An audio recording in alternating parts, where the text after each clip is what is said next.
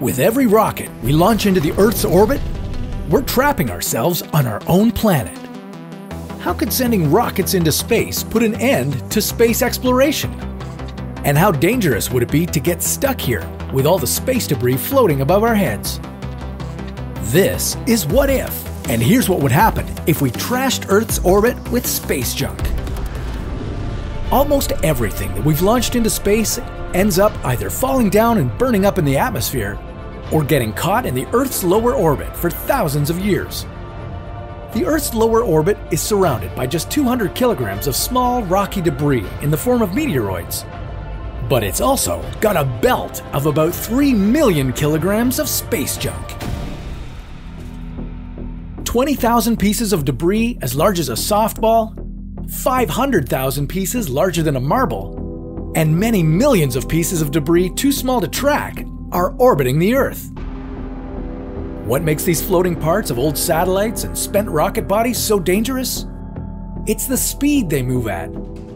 This junk is hurtling through space at a speed of 8 kilometers per second. At that speed, one small bolt is enough to shatter a working satellite into hundreds of pieces. But it's what comes next that could hold off our dreams of building moon bases, colonizing Mars, and any space exploration whatsoever. The more junk we leave uncontrolled in the Earth's lower orbit, the harder it is not to get hit by it. Things are running into each other. Fragments of debris are colliding and breaking up, multiplying the number of items flying through the space junkyard. And they're hitting working spacecraft too. One day, they could hit enough satellites to initiate an unstoppable destructive chain reaction the Kessler syndrome.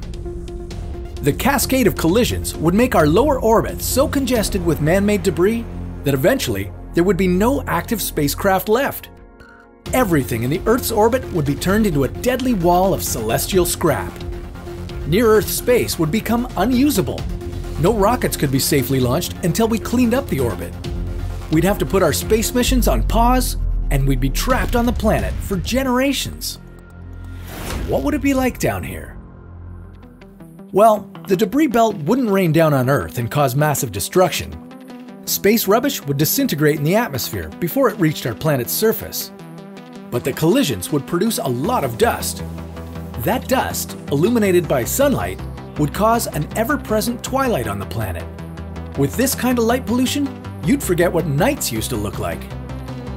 What's even more unpleasant, all of our satellite networks would go down, there'd be no satellite communications, no GPS navigation, no weather data, and no way to do any science in the Earth's orbit.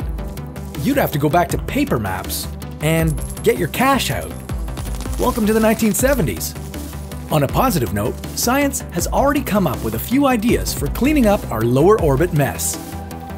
They're looking at capturing the space debris with a net, or harpoon, or vaporizing the small bits of junk with lasers. Whatever action we deploy, we should act quick if we want to launch humanity on far space missions and finally colonize that red planet. But that's a story for another What If.